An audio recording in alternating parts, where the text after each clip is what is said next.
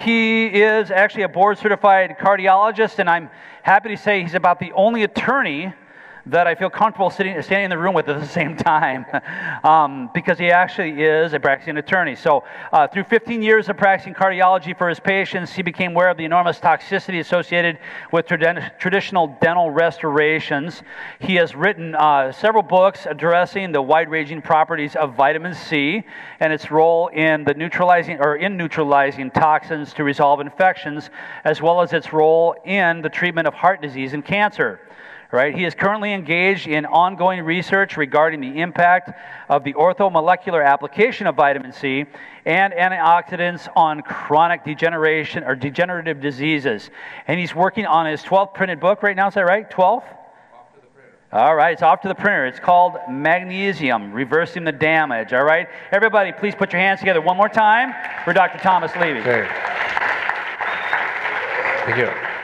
Just looking at the title of this talk, I know myself included, we've talked a lot about root canals and root canal toxicity over the years. And I think it's also important to know that there are ways to minimize toxicity because you're going to have patients that refuse to have root canals and or other infected teeth extracted. They might not hurt, so they don't want it extracted. They're not interested in an implant, but they want you to do what's best for them under those restrictions or lead them to what's best for them under those restrictions. And that's some of what I'm going to talk about today. Let me say, and this is sort of a corollary to what Dr. Yu was talking about, is uh, a lot of what I'm going to talk about is the medical treatment of a dental patient, and you might say, Well, I'm in no position to do that. Well, anything that you don't feel comfortable doing yourself, if you haven't done it already, seek out and make an alliance with one or several integrative medical doctors uh, in your community. Have lunch with them, see if you're on the same page. And if you're talking about referring a lot of patients, they're going to be interested in listening to you, but you just need to see if they're willing to learn or already up to date on some of the things we're talking about. Because if we can get that type of coordination, I guarantee you there's an enormous extra amount we can do for our patients. Okay? And that's not always important a group like this excluded, I'm going to tell you, it's my sad opinion that over 90% of physicians' number one concern is not their patient welfare. And that's sad, but I firmly believe it to be true. It's only when these things coincide that that's the case. Okay? As with all my talks, I want to give you as much reference to the medical literature as possible. So wherever you see a number, you can go to PubMed, put that number in the search box, hit enter, and you'll go straight to the abstract where this particular fact or piece of information came from, and sometimes you'll have access to the entire article if that's what you want. Now, also something that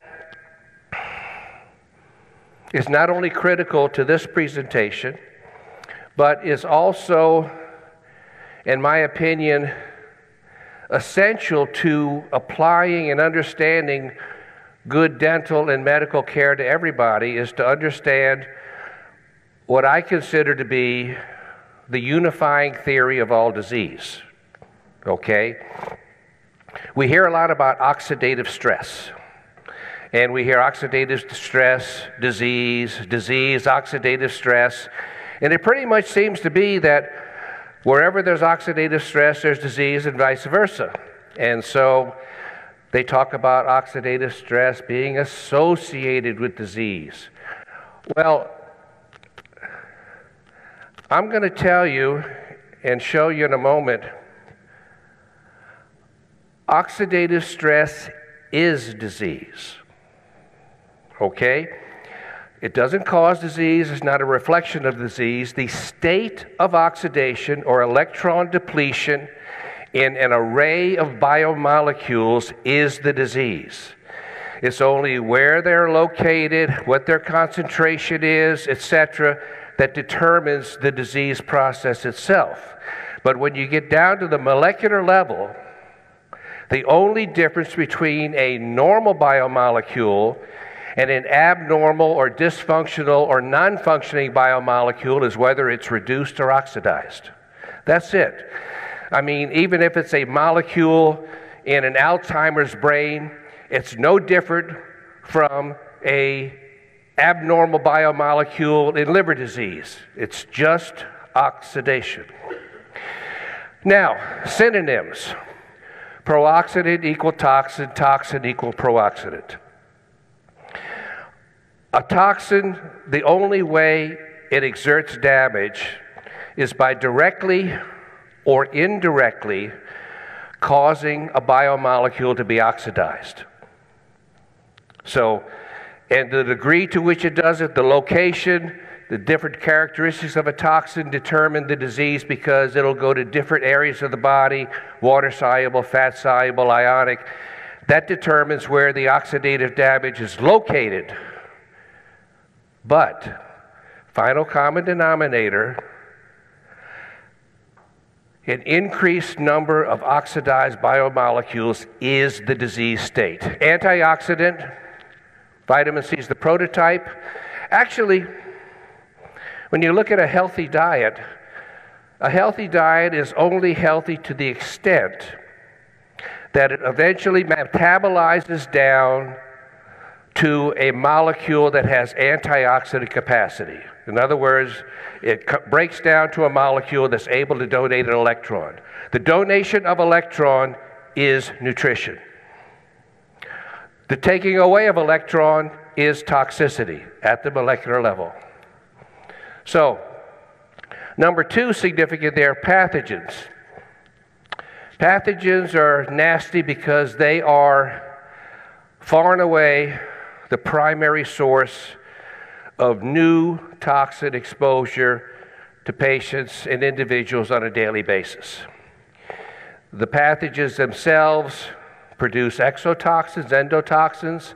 They also break down into pro-oxidant metabolic byproducts, and perhaps most significantly, as they metabolize and break down, they release large amounts of free iron. Pathogens all thrive on iron, and there's really nothing more toxic you could have in your body than an excess of iron.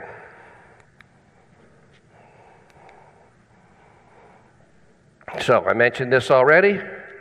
All disease is increased oxidative stress, and it has to do with the fact which biomolecules are oxidized, where are they located, what is the percentage of oxidized biomolecules relative to reduced? How long have they been there? That's it. Now, in going on to the rest of the presentation, let me outline for you what I consider to be the primary promoters of all chronic degenerative diseases. Number one, far and away, far and away, the most prominent cause and exacerbator of chronic degenerative diseases is infections. Okay? Those related to them, of course, we know a lot about the dental sources tonsils, gums, lymph nodes, sinuses, teeth all of these things can be ongoing chronic sources of toxins and pathogens. Now, this is one that I don't know has ever really been discussed. But in my research, in my personal experience, I'm coming to believe, and so I like to differentiate before you what I find in the literature and what I've concluded for myself. This is what I've concluded for myself and that is a major provoker and sustainer of the pathogen processes we have is the fact that I would say the vast majority of people have a chronic pathogen colonization in their upper respiratory tract and in their nasopharynx. And it has a lot to do with the types of breaths people have. Some people never understand why they have such a foul breath. Well, I think if they nebulized the right substances, penetrated the biofilm of something that they've had for years, break down and kill those pathogens, you'd find things suddenly normalizing. Consider this. And I'll have to relate a little personal experience here. In my research for my magnesium book, I mean, I knew about nebulization, but I didn't know about nebulization. And I started seeing things that caused pathogens and broke down bio, caused pathogens to die and broke down biofilms. Biofilms are a biggie. It's not just a catchphrase. There's a lot of things that are very difficult to resolve because you get a whole slew of mucus, connective tissue, and everything else enveloping uh, colonies of pathogens that never proliferate to the point of being an abscess, but they nevertheless proliferate and they proliferate 24 7 and they produce toxic byproducts 47. And what are you doing when these pathogens are in the nasopharynx? 24 7, as the young people like to say, you're swallowing pathogens, you're swallowing toxins. Those are toxic too, just as if you got them injected into your blood. The correlation now of pathogens oral to different diseases is gradually getting overwhelming. You can find porphyromonas, one of your prototypical periodontal pathogens, in bowel cancers. You can find it in stomach cancers, in stomach ulcers. You can find it in the breast tissue of patients, ladies with uh, breast cancer. Of course, you find it in the pericardial fluid of patients with chronic coronary artery disease. You find it in the coronary arteries where you have atherosclerosis. You find it in the carotid arteries where you have carotid stenosis and endarterectomy specimens. You find it in ruptured cerebral aneurysms. You find it in biopsy specimens of Alzheimer's patients. I'm going to tell you, in my humble opinion, you're going to find oral pathogens in just about every disease process if you analyze the biopsy specimens and collect them correctly. This is really, to me, potentially the dawn of a new form of, of, of uh, a medical treatment because most of our medical treatment is always to treat the symptom, try to reverse the oxidative damage, but we still don't completely know all of the new pathogen insults we have on a daily basis. My mentor, Dr. Hal Huggins, told me many years ago when I was babbling on about let's do this, let's do that, and he just sort of looked at me and shook his head somewhat condescendingly. If you knew Hal, that wasn't hard. And he said, Tom, I said, yes, sir. said, you can't dry off while you're still in the shower. Okay? And it's so true. We have to remember that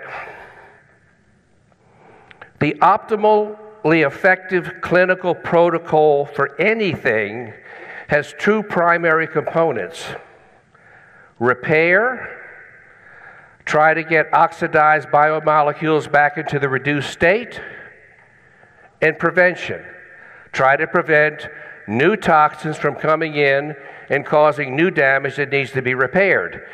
Uh, you can sometimes get very nice partial clinical results, but until you address both those parameters on every patient for every condition, you're going to fall far short of the mark. So, chronic pathogens, known toxin exposures, iron, calcium, iron, calcium, and copper, the three toxic nutrients. Uh, I have another book called Death by Calcium, and it's entitled that because it's not an exaggeration. Calcium is one of the most toxic substances you can ingest once you have adequate calcium in your body for normal physiological functions. All diseases in all disease cells share one common denominator increased intracellular oxidative stress. All of those cells share another common denominator increased, uh, increased intracellular calcium levels. As calcium goes up, oxidative stress goes up, disease worsens, and in many cases, when the stress goes even higher, you have carcinogenesis in a cancer cell. Dietary uh, toxin exposures, and here I'm going to really hit hard on this hormone imbalances, sex, cortisol, and thyroid. Also, uh, to a lesser degree, uh, insulin. Now, a few words about this the focal infection and colonization. I would submit to you that when you have a focal infection in your body, statistically speaking, well over 95% of the time, it's going to be due to something going on in the oral cavity. Root canal, chronic apical periodontitis, gums, tonsils, sinuses, infected lymph nodes. Now, I think very few people, if any people, let's say after they have a severe cold, and even if they take the right measures to knock out the pathogens, I don't think many of them recolonize normal beneficial bacteria in their nasopharynx. I think for many people, once they have that flu, once they have that cold, and unless what I'm talking about is specifically targeted, they maintain an abnormal nasopharyngeal colonization for life or until it's corrected. And this is just layered on top of all the other oxidative stress that you have.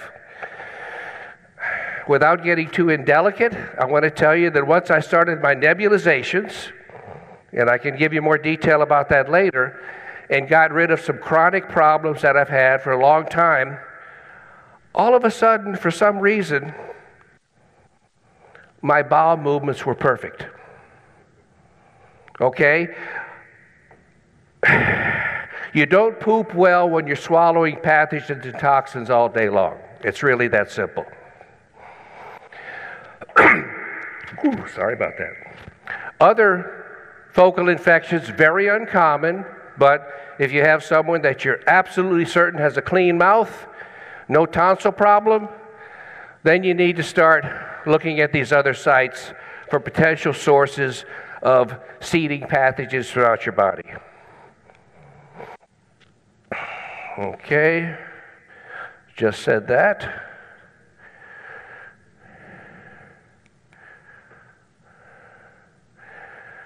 And these, if you're interested, are the citations that can show you how porphyromonas as a hallmark periodontal pathogen, not the only one, is present in gastrointestinal cancers, various oral cancers, pancreatic cancer, colorectal cancer.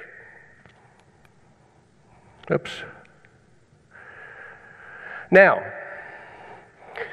even though it might not be well accepted among my cardiology colleagues, I'm going to tell you it's very well established that well over 90%, I'm just being conservative by saying greater than 90%, but well over 90% of atherosclerotic coronary arteries are in a state of chronic focal arterial scurvy because they're chronically colonized by oral pathogens. Now, believe me, if you think about it anatomically, there is nothing more remote from the oral cavity, when, especially when you're going via the vascular system, than the inner lining of the coronary artery.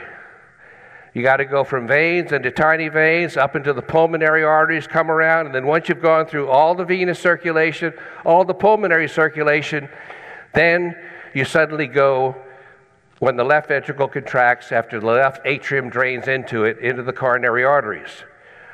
The reason why the coronary arteries so avidly permit colonization of these oral pathogens that didn't colonize anywhere else on their way there blood pressure. These, these pathogens are just mer- going along their merry way at a venous pressure of 5, 10, 15 millimeters of mercury into the left atrium, and the moment they get into the left ventricle, and the left ventricle contracts, whoop, 10 millimeters of mercury up to 140 millimeters of mercury, 25% of the cardiac output in the coronary artery, and basically mechanically slammed into the coronary intima. And of course, not just a one time event, 24 7.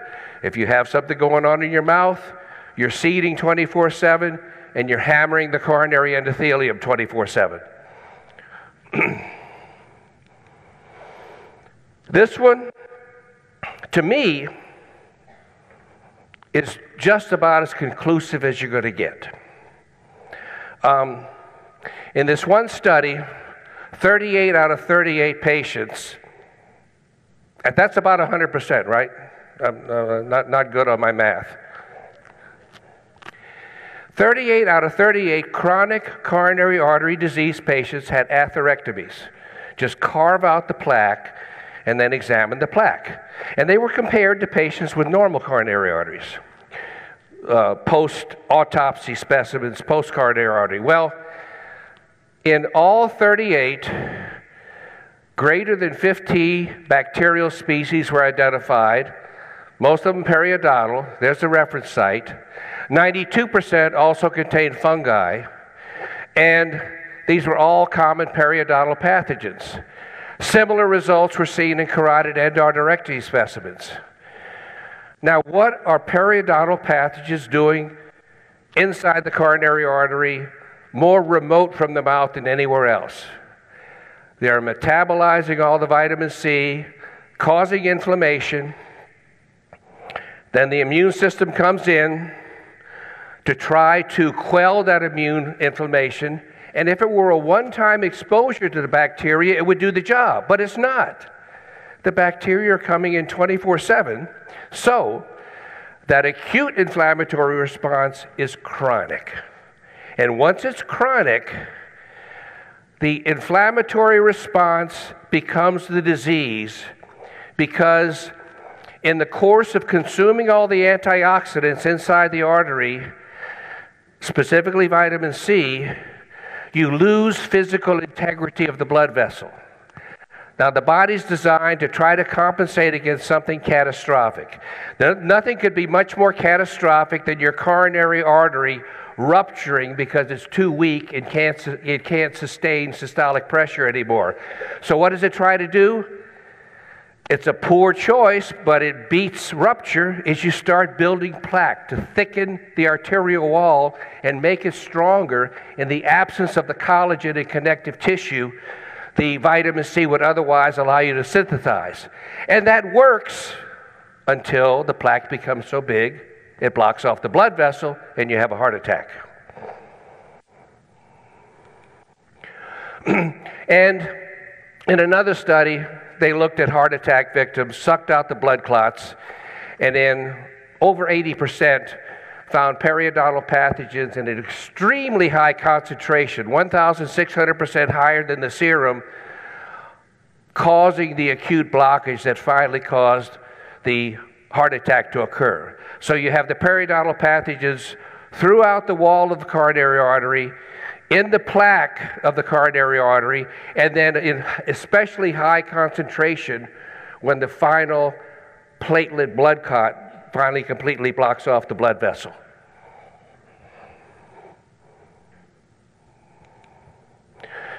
I mentioned this, but here you can see this, and you can check the references if you like.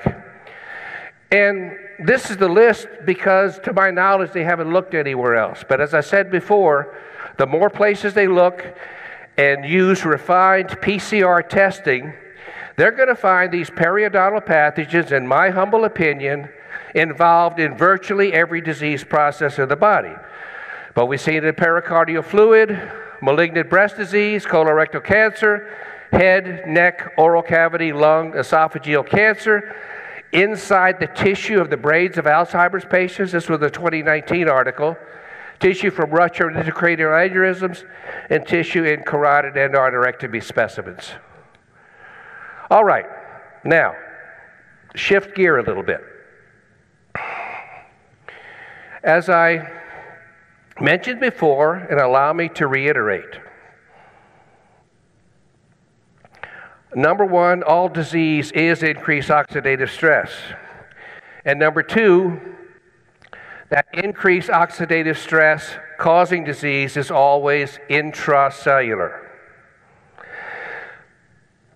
Furthermore,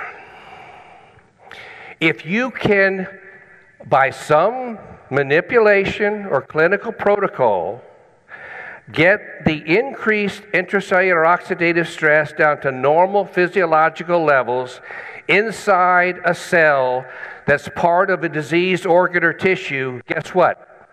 You've got a normal cell. Conversely, when the normal cell is allowed to increase oxidative stress, it becomes diseased. So, what are the direct factors that directly impact this all important parameter of intracellular oxidative stress, whether it's normal levels or elevated levels or astronomically elevated levels. Number one, of course, I just told you is calcium. You'll never find a diseased cell, hear me on this, you'll never find a diseased cell in any disease process that if you're able to assay the intracellular contents, the calcium is not elevated. That's part of the pathophysiology. It's almost the entire pathophysiology. Number two is magnesium, which is, with calcium, it's the yin and the yang. You can't have elevated calcium and magnesium at the same time. You can't have low calcium and magnesium at the same time. If one's up, the other's down. And if you want to get the one that's elevated down, you push the other one up. It's a natural antagonist to calcium functions, and it is a natural calcium channel blocker. So we have prescription drugs that block calcium from coming into the cell, and we have natural agents such as magnesium that can do the same thing. Of course, there's vitamin C. Nothing's going to be more important to normalizing intracellular oxidative stress, to normalizing the levels of vitamin C. And then there's glutathione. Now let's look at one, each one a little, little more closely. So, what I've told you, let's look at this sentence right here. I would submit to you the manipulation of intracellular calcium levels appears to be the most straightforward way to positively impact intracellular oxidative stress and thereby positively impact any and all disease processes. And when I say disease processes, I mean infection too.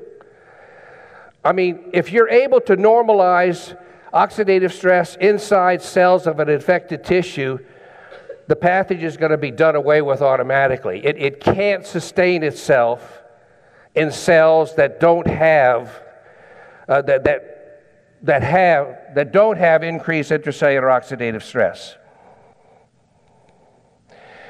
Now, as I just said, calcium's up, magnesium's down. This is important. When intracellular magnesium levels are normal, there is no increased intracellular oxidative stress adhere. The cell is then physiologically normal. Plain, clear cut, unambiguous.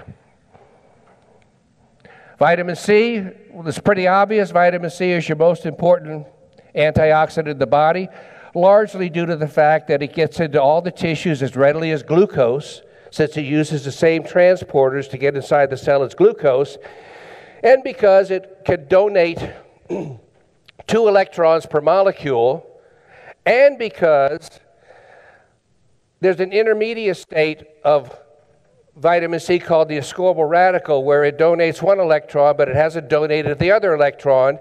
And that's a stable entity that can circulate in your body and provide you with an electron buffer so that if the microenvironment needs an electron, it'll donate. If the, if the, if the microenvironment needs an electron taken away, you can take it away.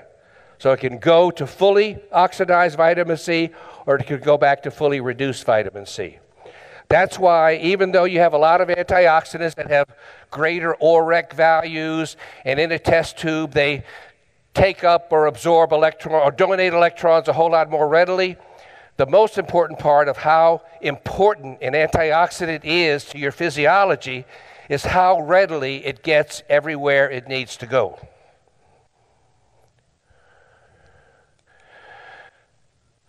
Glutathione is important, but it's really a secondary player because if you have elevated calcium, low magnesium, low vitamin C, you can take glucose, uh, excuse me, glutathione supporting uh, supplements all day long, and it's not going to counteract not addressing directly the calcium and the magnesium. On the other hand, when you get the calcium down, when you get the magnesium up, when you get the vitamin C in, all of the oxidized enzymes get reduced, start functioning again, and you make as much glutathione as you need.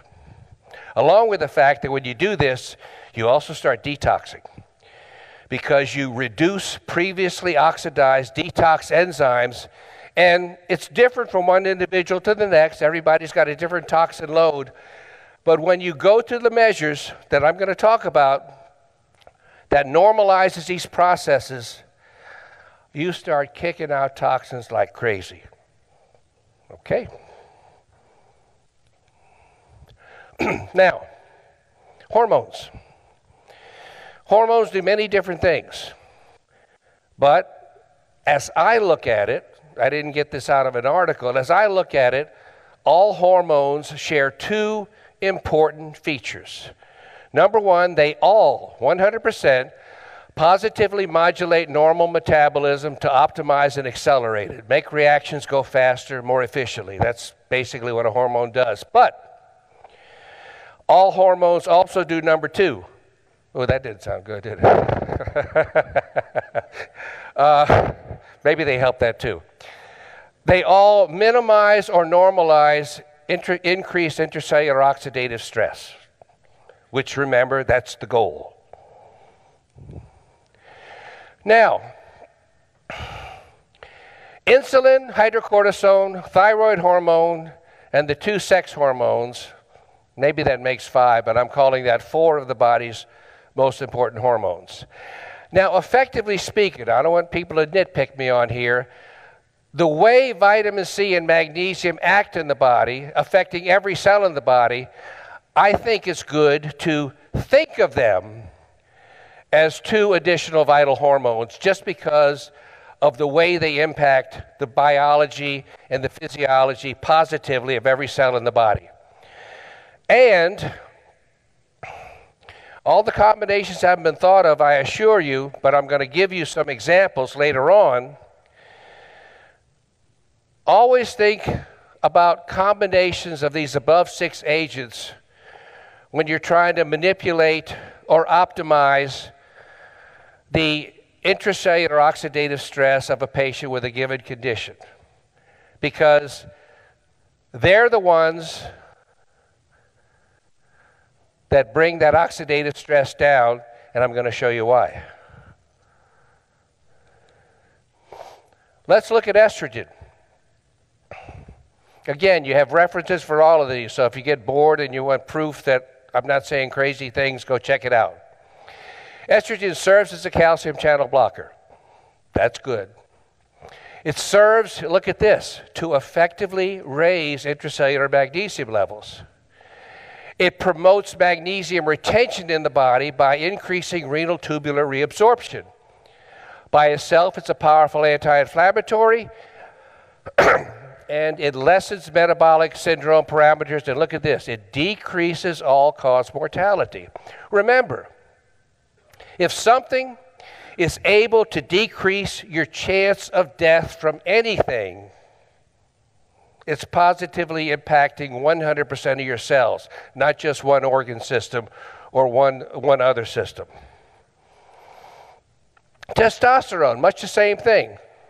Calcium channel blocker, anti inflammatory, decreases all cause mortality, lessens insulin resistance, so it sort of has a synergistic effect with insulin, and it helps to optimize the function of other hormones.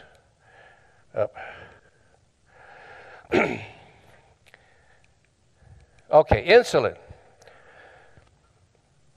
When I started doing my research for my book for magnesium, I got to say, I, I, needed to put a seatbelt on my office chair because the information on insulin that virtually nobody knows about is mind numbing. Let me give you a radical statement here. My opinion. The ability of insulin to facilitate glucose uptake into the cell may well not be its most important function. I think its most important function is it helps pull magnesium into the cell. Magnesium is concentrated inside your cells 10,000 fold more than extracellular. But I just said, if you're going to bring the calcium level down inside the cell, you got to get more magnesium into the cell. So, how do you get magnesium into the cell against an incredible concentration gradient like that? Insulin. Insulin does the trick. In diabetics who are insulin resistant, and you're getting frustrated by using higher and higher and higher doses of insulin and not getting any control.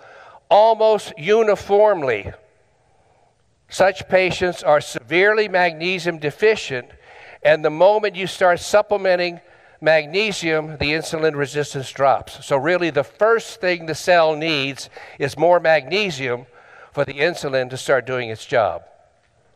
Also, as I mentioned, Uh, as I mentioned, directly promotes vitamin C uptake. It also conserves magnesium. And I don't know, maybe somebody can help me out here, but I always had this sort of vague idea that insulin somehow magically metabolized glucose. But as best I can tell, the only thing insulin has to do with glucose is it facilitates its uptake into the cell. So everything else is extraneous to that. And the fact that it facilitates vitamin C uptake and magnesium uptake, I think if you're able to normalize intracellular oxidative stress, small amounts of insulin are going to take care of the glucose intake no problem. Everything works better when there's no excess oxidative stress. Everything works optimally when there's no excess oxidative stress. Hydrocortisone, powerful anti inflammatory, also a calcium channel blocker. And guess what? This was a study that Nina Mikirova, Dr. Ron Hunninghake, and I did at the Riordan Clinic about six months ago, just looking at whole vitamin C levels inside uh, monocytes and giving different forms of vitamin C uh, with and without hydrocortisone. Well, guess what? Hydrocortisone massively increases the uptake of vitamin C inside cells. Now, what does the immune system do? It's designed to quell inflammation. That's my understanding of it. If you have inflammation somewhere, the immune system gets mobilized. Why do you get the inflammation? You get the inflammation because antioxidant capacity, spearheaded by vitamin C, has been massively depleted in that area, and that's your inflammation. So, what is the immune system trying to do? Well, the first cell, at least in the case of the heart inflammation they've studied, the coronary artery, the first immune cell to show up is the monocyte. Guess what? Second only to the neurons, the monocytes have the most vitamin C of any cell inside the body. They have 80 fold, 8,000% more vitamin C than in the plasma. So think about that. The first cell to show up at a site of acute antioxidant depletion is the cell that's most packed with vitamin C. I submit to you my opinion that number one, the primary role of the immune system across the board is to alleviate inflammation by supplying vitamin C to those inflamed areas, which is the primary physiological insult causing the inflammation. That's number one. Number two,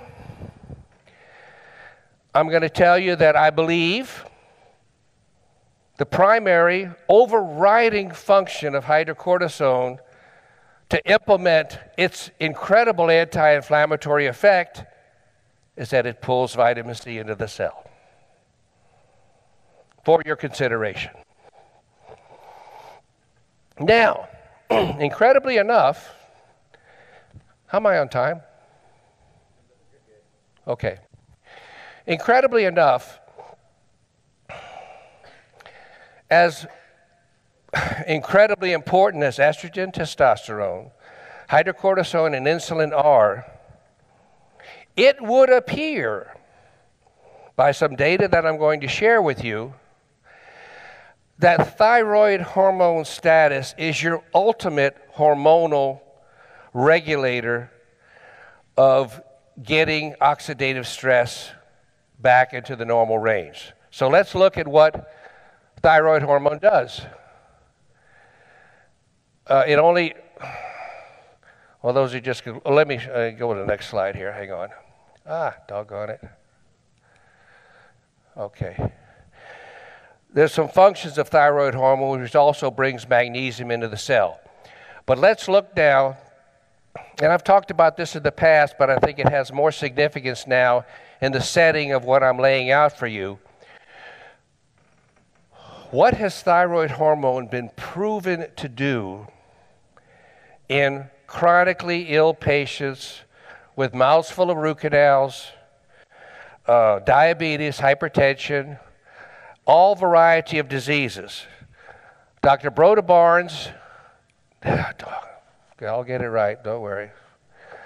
Dr. Broda Barnes looked at 1,500 patients that he treated over a 20 year period. Pretty impressive private practice. He specialized in treating hypothyroidism. He had his own way with body temperature and a few other clinical factors of really being able to tell who was a little bit down on the thyroid. Now, he used desiccated thyroid, and over a 20 year period using desiccated thyroid, four of 1,600 patients had heart attacks. If you look at the Framingham study, 72 people of the same age and range and diseases should have had heart attacks. That's a powerful protective effect. And he even noted that. Uh, the four heart attack patients he felt, in retrospect, received inadequate doses of thyroid. So that even opens the door to the possibility that properly adjusted thyroid status can give close to 100% protection against the dissemination of focal infections. Obviously, if your patient is willing, you extract an infected tooth, you extract a root canal. But if they don't give you permission, you can't go yanking out that tooth. But they say, Doctor, please help me as best you can, just don't take out my tooth. Then that's the time to get together with your integrated medicine doc that hopefully you've developed a relationship with and said, let's check out the thyroid function. Now, regular thyroid tests really are almost worthless, except for showing you if you have hyperthyroidism or showing if you have massive hypothyroidism. But they're going to do virtually no good for showing if you have minimal subclinical cellular hypothyroidism, which is the entity what we're talking about. We're not talking about a sick thyroid gland.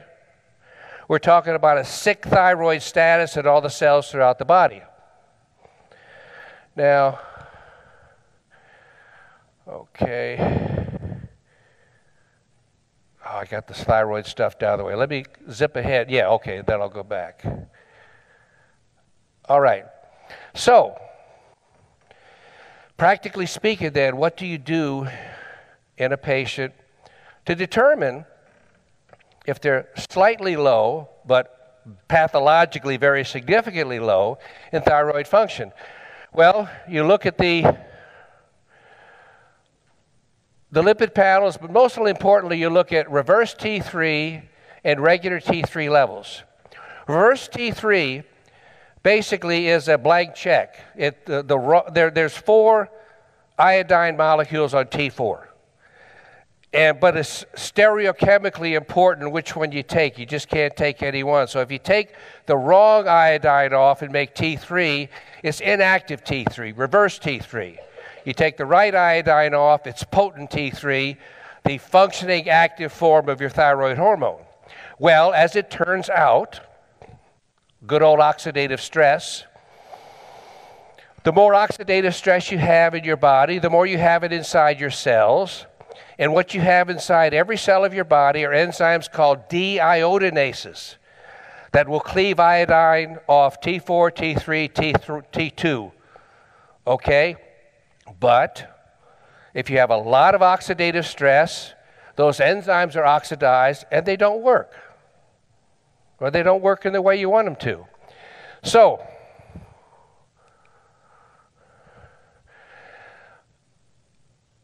probably the best way to detect a low thyroid patient not reflected on the regular thyroid function test, which I really don't advise looking at at all, except maybe as a baseline, is the free T3 to reverse T3 ratio.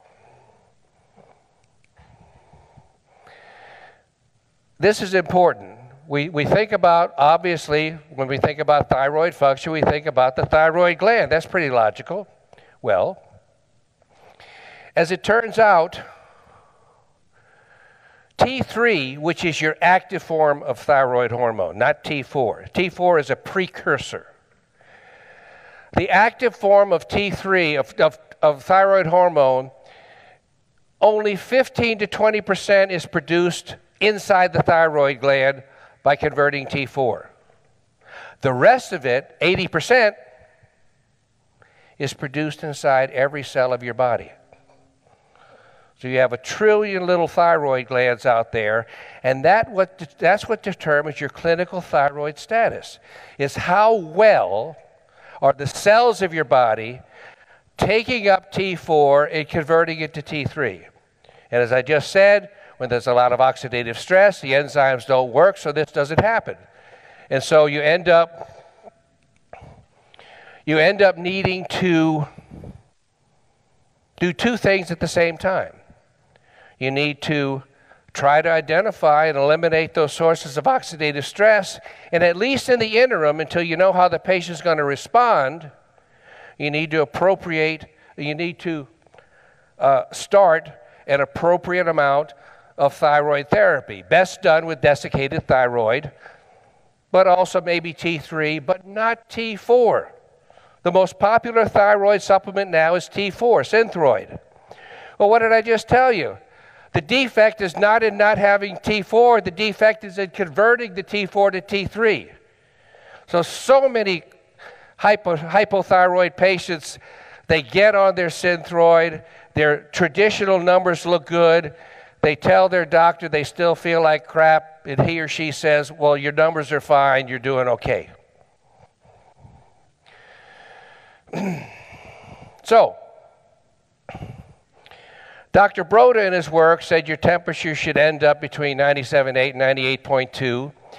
Your reverse T3, T3 to reverse T3 ratio should be 18 over 1 to 20 over 1, more or less. And just as an example, uh, the, is because there's a lot of crazy units on these tests. So your free T3 let's say, is 3.1. Your reverse T3 is 18.4, but one is picogram, the other is nanogram, one is milliliter, the other is deciliter. So to convert the picogram per cc to nanogram per deciliter, you multiply by 100. So 100 times 3.1 is 310, over 18.4 is 16.8. Now, so that's a low, not a massively low, but that's a low ratio. That indicates a mild degree of subclinical hypothyroidism.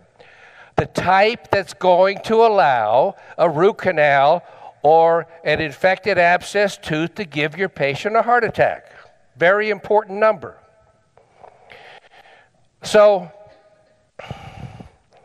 if the T3 levels are normal, your main concern is going to be eliminating oxidative stress. If your T3 level is low along with an elevated reverse T3, that means you need to initiate dual therapy for sure because you probably have focal infection along with a thyroid that's not doing optimal function. Maybe it'll improve over time, maybe not. You never really know until you get rid of the focal infections how well your peripheral thyroid function is going to respond. Okay. And I'm not going to go into this. This is how Dr. Barnes would build up his dose. But very important, if you're the one given the thyroid, is you got to go slow. Thyroid function cannot be replaced with big doses quickly. Has to be slow. You need to stick with a dose for a few months at a time before you increase the dose. Now, I don't know why more people don't use this. Uh, even, even at home, when you want to measure your baby's temperature, whatever. These are the most incredible devices I've ever seen. Laser guided temperatures. They're actually usually they're used for mechanical purposes. You know, to, to zap equipment to see how hot it is, see if it's overheating, see how cold it is. But guess what? You get someone to open their mouth, lift up their tongue, you go bang, you got it. Just like that. Just have to make sure there's not a cold beverage or a hot beverage for about 15 or 20 minutes before you do it. And you have a vastly more accurate temperature. I suspect Dr. Barnes would have liked one of these, but I don't think he had it. It would appear that completely normal function thyroid, euthyroid, minimizes and optimizes body wide oxidative stress and largely blocks the ability of focal infections to disseminate. Now, all of this is important too, even if you're absolutely certain you've gotten rid of all the focal infections. I mean, everybody, you should want to have their hormone function as well adjusted as possible if they're looking to you, their healthcare practitioners, to give them their optimal health.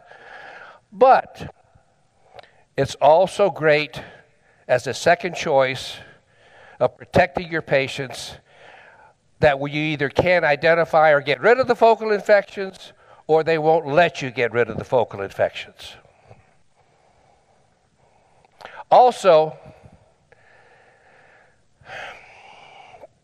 there is no disease cell in the body that has higher intracellular oxidative stress short of apoptosis or cellular rupture and destroying it than a cancer cell. And when the cancer cell gets even higher intracellular oxidative stress, but short still of self destruction, it becomes metastatic. The metastatic anaplastic cancer cells are the ones that have the highest levels of intracellular oxidative stress. And it would appear this is more of an opinion. I can't give you an article on this. It would appear that normalizing your thyroid function also, in addition to blocking the ability of focal infections to disseminate, blocks or inhibits the ability of cancers to further destabilize and start spreading or metastasizing. Matter of fact, they have articles that show, obviously, in a, in a cancer cell like this, you have massively increased calcium. And they have studies that show when you can chemically pull the calcium out, you can take a metastatic cell and bring it back to a non metastatic cell. And when you bring the calcium levels even further down, you can sometimes have a cancer cell revert to a normal phenotype.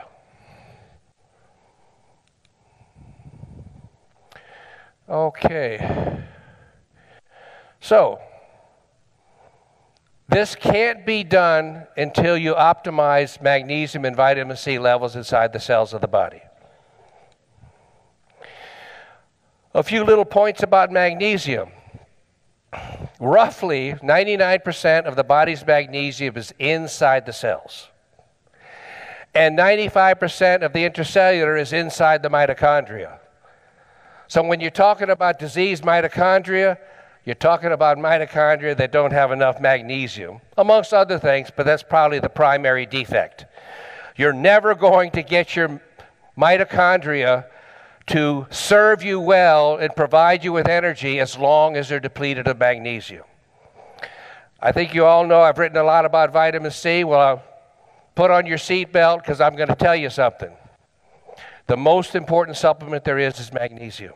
Vitamin C is number two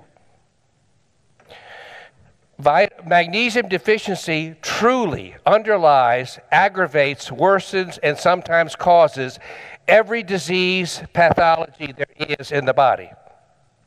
And nothing can take care of a magnesium deficiency other than magnesium.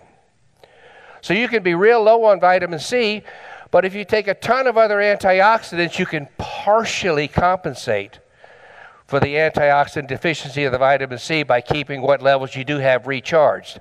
So, obviously, you need both. But I just want to emphasize how important magnesium is. Blood levels are irrelevant unless they're low. If the blood levels are low, then you're really low everywhere in your body.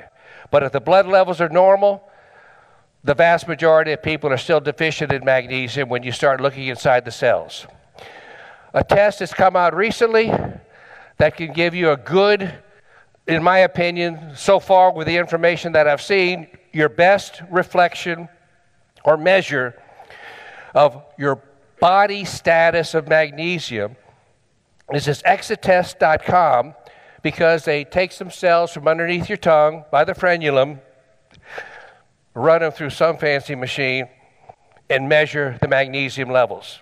And they've already correlated it to other uh, biopsy specimens in the body, so it seems to have a high correlation and doesn't really reflect the blood level one way or the other. So, how do you supplement it? Many oral forms exist, but they all, for the most part, will have you pooping your brains out long before you get enough magnesium in your body.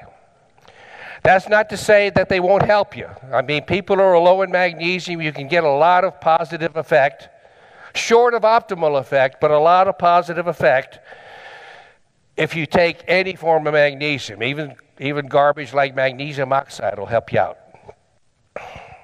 Now,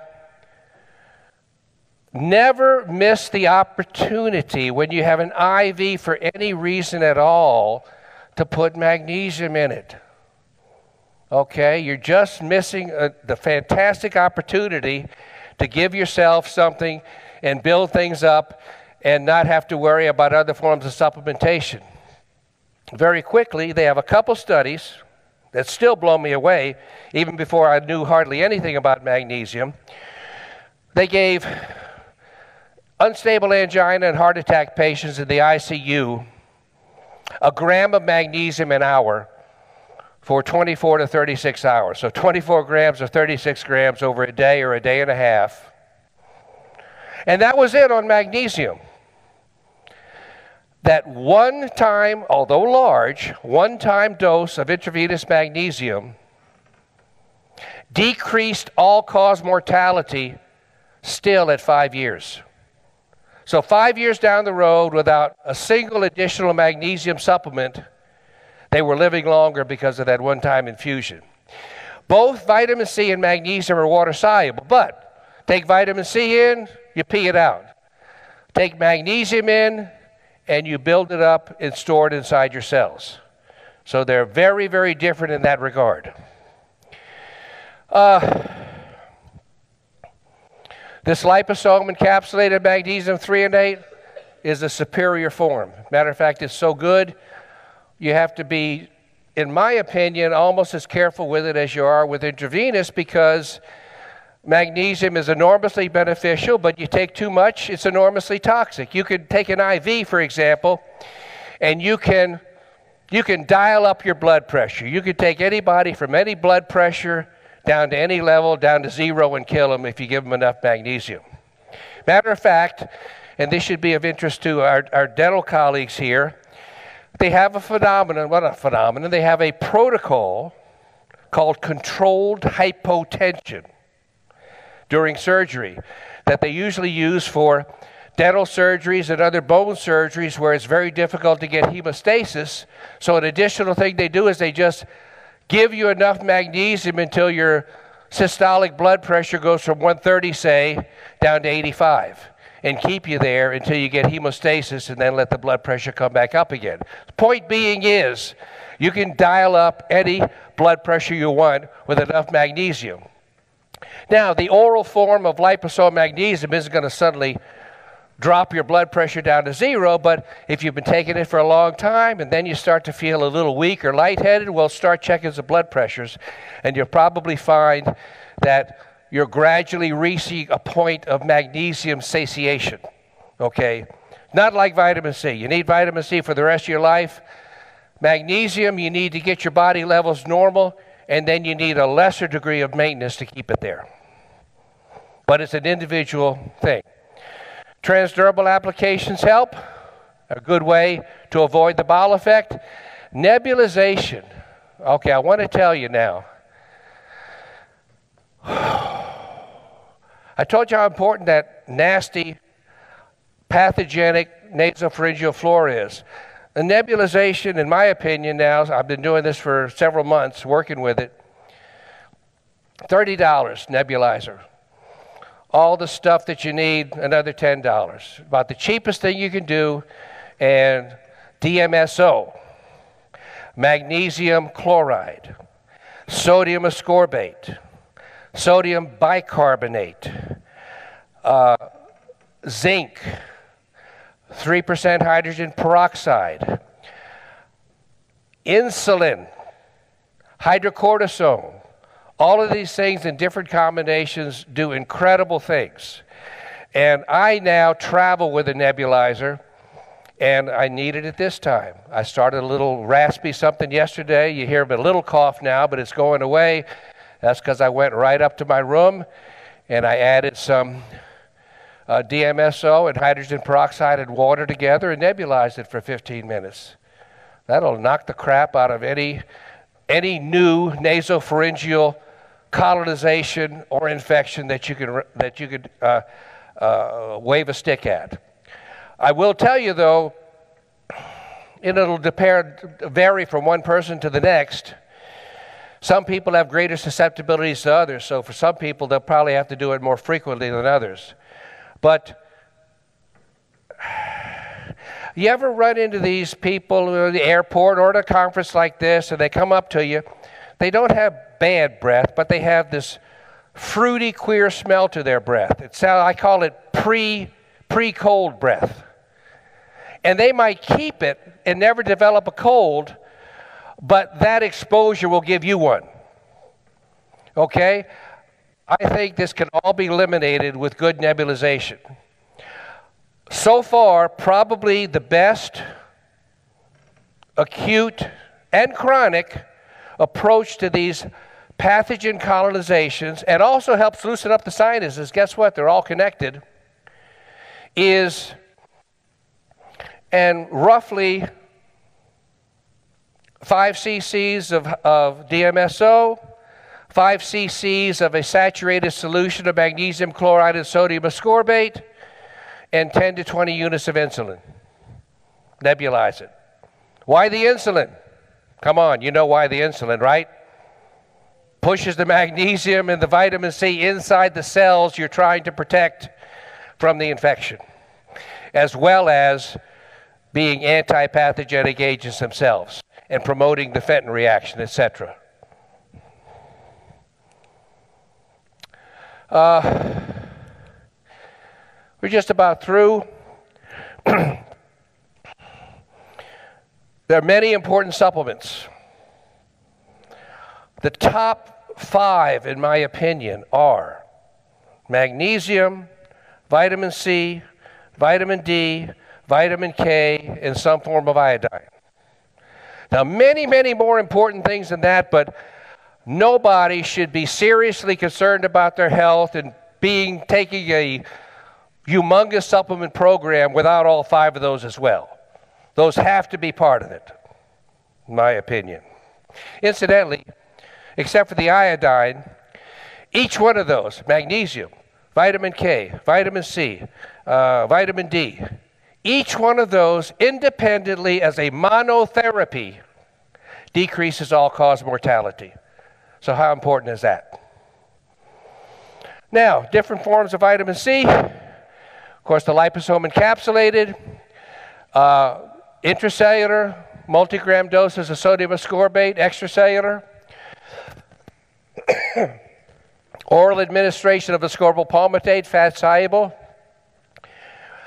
We're doing some things at the Riordan Clinic now where trying to get as much vitamin C 24 7, as they say. So they develop little bladder systems that can put a steady infusion, even as an outpatient, into you as you go home. This is producing good effects. Intramuscular administration.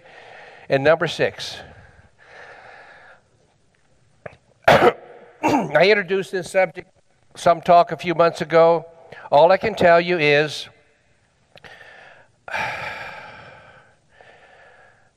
this might be one of the greatest supplements so far in the history of man, and that is fetuses make vitamin C, newborn babies make vitamin C, many babies, one and two years old, make vitamin C. That means it's not a genetic code defect. You have the gene for vitamin C, you're just not transcribing it. And as it turns out, there are some new supplements that have developed, pure nutrients, polyphenols, that appear to cause you to read through a stop codon that's abnormally causing you not to transcribe and make the final enzyme so that you can synthesize vitamin C inside your liver from your own glucose. I've been on it for a year and a half, and it's, it's done miracles for me. I don't have time to go into all the details, but I will tell you very quickly I made myself the primary guinea pig on this. Now, when you if you have a certain amount of vitamin C in your blood and you're not making any, and you get exposed to a huge toxin that metabolizes vitamin C, what's going to happen to the vitamin C level in your urine over time? It's going to drop down and disappear. You're going to use up all your vitamin C. On the other hand, if your liver now is capable of synthesizing vitamin C and responding to stress, what's going to happen? Bring in the stress, and the urine levels are going to go up. And my toxin was scotch. And Oh, I don't like scotch to this day now, but I, I wanted to make sure I took enough of it so that my body would interpret it as a toxic insult. And boy, did it interpret it as a toxic insult. But my urine vitamin C's were the low normal range. Start taking the scotch, rise, rise, rise. Got blitzed out of my mind. Next morning, still high. 24 hours later, still high and finally comes back down to a normal level. So it basically took 24 hours for my liver to make enough vitamin C to neutralize the toxicity of that scotch. But if your liver can't make it, it the urine levels would have just dropped down to zero. Most people, you give them a big infection, virus, you measure their urinary vitamin C levels, they're zero. They're using up all their vitamin C. So, this is something that's changing the formula. It doesn't displace any of the other supplements. It doesn't say don't take vitamin C, don't take liposomes, don't take all these other things. But boy, does it make them more impactful for your long term health. So, recap completely eliminate sources of, sources of focal infection whenever possible. Always optimize the status of significant hormones, sex, thyroid, and cortisol. Target all clinical pro- protocols with the idea that the maneuver you're doing is lessening intracellular oxidative stress. Always, the big two, the big two, always optimize vitamin, uh, magnesium and vitamin C levels in the body, and consider the judicious additions of insulin, hydrocortisone, along with magnesium and vitamin C in intravenous infusions. I forgot one thing I want to mention. Talk about how much incredible information is buried in, in, in, in plain sight in the literature. There are multiple long term, prospective, double blind, placebo controlled trials, massive numbers of patients, wound care with either topical or systemic insulin massively accelerates quality healing. How many wound care centers do you know of that routinely use insulin in accelerating wound resolution? So I just give that for your consideration. Don't deny your own brain of thinking for itself. If you see something phenomenal in the literature, don't think, don't let your first thought be, well, if it's that phenomenal, somebody would be using it. No, no, no. So, for optimal health and even possible reversal of existing medical conditions, the best approach is to prevent, which frequently means teeth extraction, and to repair or reduce oxidized biomolecules. However, when it is not feasible for any combination of reasons, economic, patient preference, etc., very strong attention needs to be paid to the principles of focal infection containment. Okay? And most importantly, this is good for you whether there's infections or not. These are important principles to follow, even if there's no suspicion of occult focal infections. Thank you.